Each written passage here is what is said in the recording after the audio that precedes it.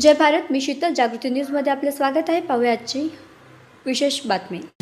IIB के 10,000 से अधिक विद्यार्थियों को शासकीय वैद्यकीय महाविद्यालयों में एमबीबीएस के लिए प्रवेश। ग्यारहवीं बारहवीं नीट और एम्स की संपूर्ण तैयारी के लिए महाराष्ट्र का एकमात्र आईआईबी नांदेड़ और लातूर।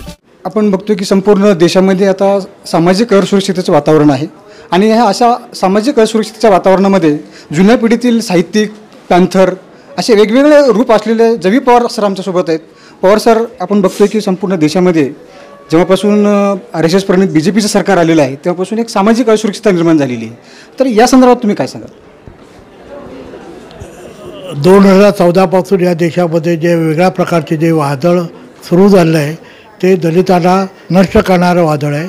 अशा वेळेला खरं तर याच्या या हिंदुत्ववादाविरुद्ध लढणारा राजा ढाले आणि त्यांची ढाल म्हणून समाजाला त्याने नेहमी नेहमी जे संरक्षण दिलं ते रा रा- राजा डाले आज असायला पाहिजे होते. ते जेव्हा पाहिजे होते तेव्हा ते नेमके आज नाही आहेत. ही त्यांची फार मोठी होणं आहे. राजा डाले हा एक निखारा होता. हा हा निखारा आता कायमचा मिटला आहे. याचं दुःख सगळ्या महाराष्ट्राला आणि महाराष्ट्रातल्या विच म्हणजे वैचारिक प व- वैचारिकतेला ही एक प्रकारची घरघर लागली आहे. आणि राजा राणीच्या रूपानं हा निखारा विजला आहे.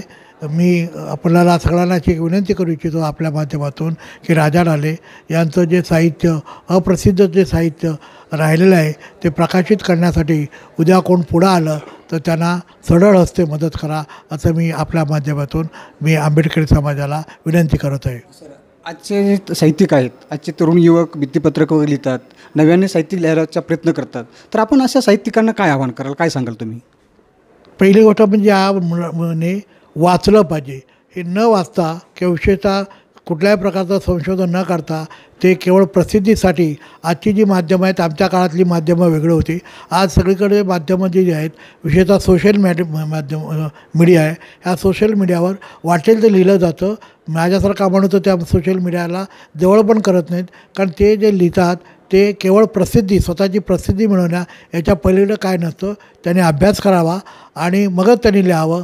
न उगाच डा डा ह्याच्यावर हवं तेवढं साहित्याचं पीक काढू नये. हे पीक ना हे पीक जे ही जी भूमी आहे ती फुले आंबेडकर विचारधारेची भूमी आहे. ही भूमी सुपीक करायची असेल तर त्यांनी वाचत राहावं.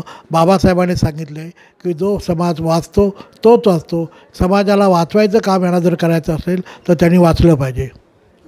आपण बघितलं की जवी पवार साहेब यां साहेब यांनी राजाभाऊ ढाले नामदेव ढसाळ यांचा सहवास लाभलेले जवी पवार यांनी साहित्यिकांना आवाहन केलेलं आहे. आजची जी परिस्थिती आहे या परिस्थितीबद्दल आवाहन केलेलं आहे. धन्यवाद पवार सर. अशाच बातम्या पाहण्यासाठी जागृती न्यूजला सबस्क्राईब करायला विसरू नका. हो तसेच तुमच्या प्रतिक्रिया आम्हाला नक्कीच कळवा. बेल आयकॉनला क्लिक करायला विसरू नका जेणेकरून आमचे